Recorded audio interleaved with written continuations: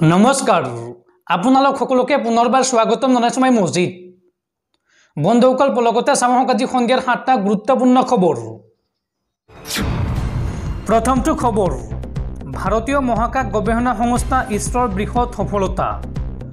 ইছৰোই চন্দ্ৰলৈ পঠিয়ালে চন্দ্ৰযান তিনি আৰু চন্দ্ৰযান তিনিয়ে চন্দ্ৰপৃষ্ঠত পদা পদাৰ্পণ কৰাৰ পিছত কি কি কৰিব বা ইয়াৰ পৰা পৃথিৱীৰ কি লাভ হ'ব ভাৰতৰ কি লাভ হ'ব সবিশেষ তথ্য চাওঁ আহক। চন্দ্ৰৰ বুকুত নামি কি কি কাম কৰিব চন্দ্ৰযান তিনিয়ে চাওঁ আহক। চন্দ্ৰযান তিনিয়ে ভেদ কৰিব দক্ষিণ মেৰুৰ ৰহস্য। চন্দ্ৰৰ দক্ষিণ মেৰুৰ ৰহস্য ভেদ কৰিব চন্দ্ৰযান তিনিয়ে। চন্দ্ৰপৃষ্ঠত অৱতৰণৰ মুখ্য দায়িত্বত থাকিব লেণ্ডাৰ বিক্ৰম। আৰু সকলো পৰীক্ষা কৰাৰ পিছত চন্দ্ৰৰ বুকুত নামিব ৰবাৰ প্ৰজ্ঞান। চন্দ্ৰৰ বুকুত প্ৰথমে প্ৰজ্ঞানে উৰুৱাব ভাৰতীয় জাতীয় পতাকা। চন্দ্ৰৰ বুকুত অশোক স্তম্ভৰ চিহ্ন খোদিত কৰিব চন্দ্ৰযান তিনিয়ে। আৰু চৈধ্য দিন চন্দ্ৰৰ বিভিন্ন এলেকাত ঘূৰি তথ্য সংগ্ৰহ কৰিব ৰবাৰ প্ৰজ্ঞানে। চন্দ্ৰৰ পৰা সমস্ত তথ্য প্ৰজ্ঞানে প্ৰেৰণ কৰিব ইছৰোৰ মুখ্য কাৰ্যালয়লৈ। আৰু ইছৰোই চন্দ্ৰৰ বুকুৰ মাটি শিল পানী ভৌগোলিক স্থিতিৰ বিষয়ে অধ্যয়ন কৰিব। ছফ্ট লেণ্ডিঙৰ পাছত চন্দ্ৰৰ তাপমাত্ৰা নিৰূপণ কৰিব বিক্ৰমে। আৰু ইয়াৰ পাছতে ৰবাৰ প্ৰজ্ঞান ওলাই আহিব বিক্ৰমৰ পৰা। ৰবাৰ প্ৰজ্ঞানে চন্দ্ৰপৃষ্ঠৰ পানী আৰু বায়ুমণ্ডলৰ বিষয়ে তথ্য প্ৰেৰণ কৰিব ইছৰোৰ মুখ্য কাৰ্যালয়লৈ। পৰৱৰ্তী খবৰ। ৰাজ্য কঁপাই যোৱা এছ আই জোনমণি ৰাভাৰ মৃত্যুৰ তদন্তক লৈ ডাঙৰ খবৰ। এছ আই জোনমণি ৰাভাৰ মৃত্যুৰ গোচৰৰ প্ৰথমটো গোচৰৰ অভিযোগনামা দাখিল কৰিলে চি বি আইয়ে এছ আই জোনমণি ৰাভাৰ মৃত্যুৰ গোচৰৰ ডাঙৰ খবৰ।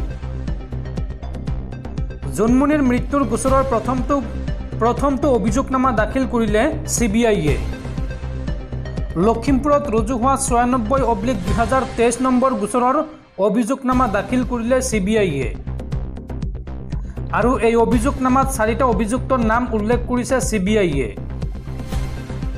অভিযুক্তকেইটা হৈছে ক্ৰমে নুৰ মহম্মদ আজিজুৰ ৰহমান ৰিয়াজুল ইছলাম আৰু মজিবুৰ ৰহমান। পৰৱৰ্তী খবৰ এইবাৰ পুনৰবাৰ নিজ দলৰ বিধায়ক নিজ দলৰ বিৰুদ্ধে ক্ষোভ উজাৰিলে বিজেপিৰ জ্যেষ্ঠ বিধায়ক ৰমাকান্ত দেউৰীয়ে। ৰমাকান্ত দেউৰীয়ে এই সন্দৰ্ভত মন্তব্য কৰি কয় যে এম এল এ হৈ এটা চাকৰি দিব নোৱাৰোঁ। তেন্তে কিহৰ এম এল এ হ'লোঁ? বেছিদিন টিকি টিকি নাথাকে বিজেপি দল। এইদৰে নিজ দলৰ বিৰুদ্ধে ক্ষোভ উজাৰিলে বিজেপিৰ বিধায়ক ৰমাকান্ত দেউৰীয়ে। এইবাৰ নিজ দলৰ বিৰুদ্ধে ক্ষোভ উজাৰিলে বিজেপিৰ বিধায়ক ৰমাকান্ত দেউৰীয়ে। বিজেপি ৰাজ্যত বেছিদিন টিকি নাথাকে এই মন্তব্য বিধায়কগৰাকীৰ। চতুৰ্থ বৰ্গৰ কৰ্মচাৰী এজনক মই নিযুক্তি দিব নোৱাৰোঁ। তেন্তে কিহৰ বিধায়ক হ'লোঁ? এই প্ৰশ্ন বিধায়ক ৰমাকান্ত দেউৰীৰ। কিমান নিকাভাৱে ৰাজ্যত চাকৰি দিছে এতিয়া সকলো ওলাই আছে।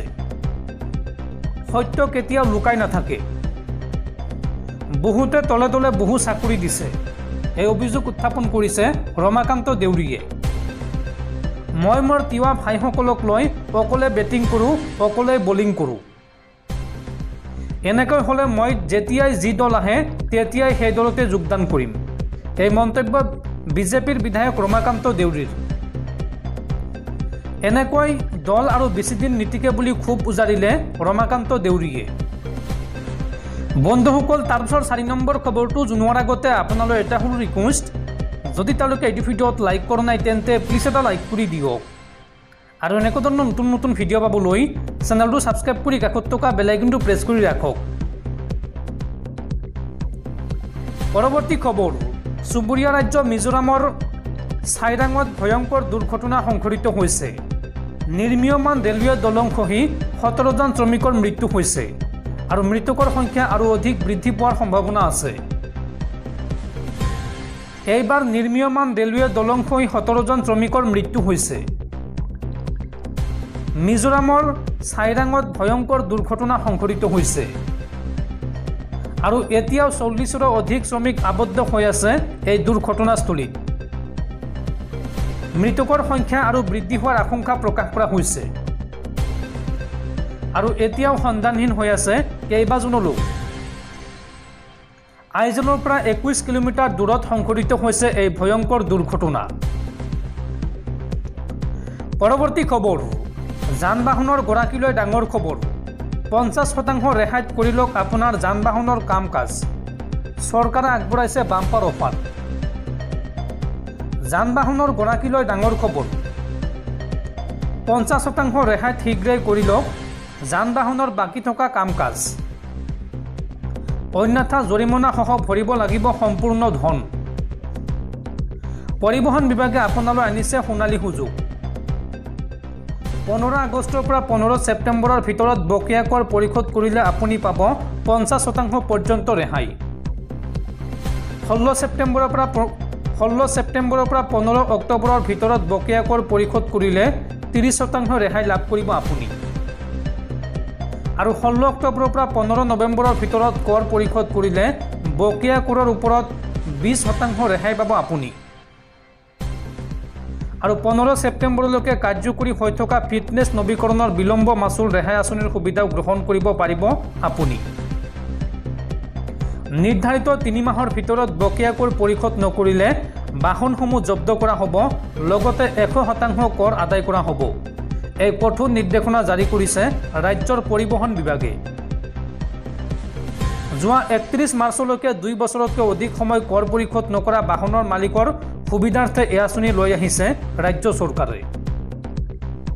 পোন্ধৰ আগষ্টৰ পৰা পোন্ধৰ নৱেম্বৰৰ ভিতৰত এই আঁচনিৰ সুবিধা গ্ৰহণ কৰিব পাৰিব বাহনৰ গৰাকীসকলে। পৰৱৰ্তী খবৰ অৱশেষত সুৰ সলনি হ'ল মন্ত্ৰী জয়ন্ত মল্ল বৰুৱাৰ। জ্যেষ্ঠ জ্যেষ্ঠ বিজেপি নেতাৰ ওচৰত ভুল স্বীকাৰ কৰিলে মন্ত্ৰী জয়ন্ত মল্ল বৰুৱাই। অৱশেষত সুৰ সলনি হ'ল মন্ত্ৰী জয়ন্ত মল্ল বৰুৱাৰ। জ্যেষ্ঠ নেতাৰ ওচৰত ভুল স্বীকাৰ কৰিলে মন্ত্ৰীগৰাকীয়ে। উল্লেখযোগ্য যে ৰাজেন গোহাঁইক প্ৰত্যুত্তৰ দিবলৈ গৈ বিতৰ্কত সোমাই পৰিছিল জয়ন্ত মল্ল বৰুৱা। আৰু বিজেপিৰ জ্যেষ্ঠ নেতাক অপমান কৰাৰ অভিযোগ উত্থাপন হৈছিল মন্ত্ৰী জয়ন্ত মল্ল বৰুৱাৰ বিৰুদ্ধে। আৰু অৱশেষত ভুল স্বীকাৰ কৰিবলৈ বাধ্য হ'ল মন্ত্ৰী জয়ন্ত মল্ল বৰুৱা। পৰৱৰ্তী খবৰ। ভাৰতলৈ আহি আছে আমেৰিকাৰ ৰাষ্ট্ৰপতি জ' বাইডেন। তিনিদিনীয়া ভ্ৰমণসূচীৰে ভাৰতলৈ আহিব মাৰ্কিন ৰাষ্ট্ৰপতিগৰাকী। ভাৰতলৈ আহি আছে আমেৰিকাৰ ৰাষ্ট্ৰপতি জ' বাইডেন। তিনিদিনীয়া ভ্ৰমণসূচীৰে ভাৰতলৈ আহিব মাৰ্কিন ৰাষ্ট্ৰপতি জ' বাইডেন আৰু অংশগ্ৰহণ কৰিব জি টুৱেণ্টি সন্মিলনত।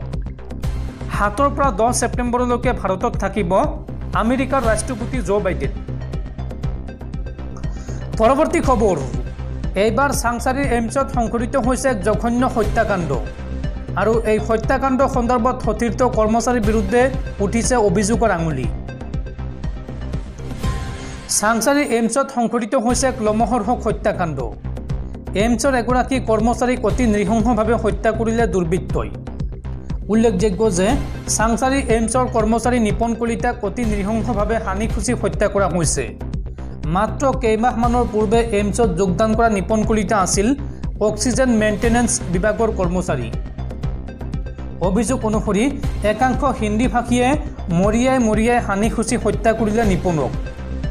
বকৰ ছয়গাঁও বামুণী গাঁৱৰ যুৱক নিপন কলিতাৰ হত্যাকাণ্ডৰ পাছতেই এতিয়া চাঞ্চল্যৰ সৃষ্টি হৈছে এইমছত। ইফালে এই ঘটনা সন্দৰ্ভত আৰক্ষীয়ে নিপন কলিতাৰ তিনি সহযোগীক সোধপোছৰ বাবে আটক কৰিছে। আৰু আটক কৰা এই তিনিজন সহযোগীৰ নাম হৈছে ক্ৰমে অমিত মণ্ডল বিনীত গুপ্তা আৰু দীপক শৰ্মা। আৰক্ষীয়ে ঘটনা সন্দৰ্ভত অধিক তদন্তৰ বাবে তিনিওজনকে জেৰা অব্যাহত ৰাখিছে।